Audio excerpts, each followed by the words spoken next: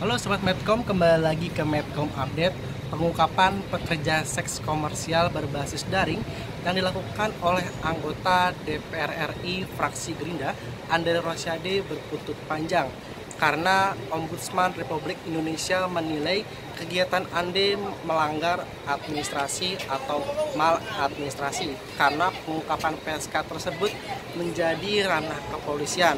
Anggota Ombudsman Dendi Kerahayu menyebut bahwa metode penjebakan terhadap seseorang yang dinilai melanggar hukum memang diperlukan.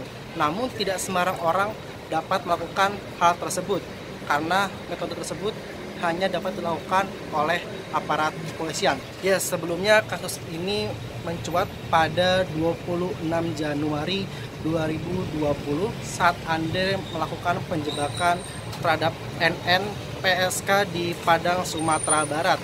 Ia dijebak atau diungkap oleh temannya menggunakan jasa aplikasi online untuk memesan PSK bernama NN tersebut.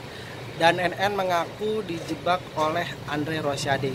Demikian Medcom Update kali ini. Nantikan Medcom Update selanjutnya.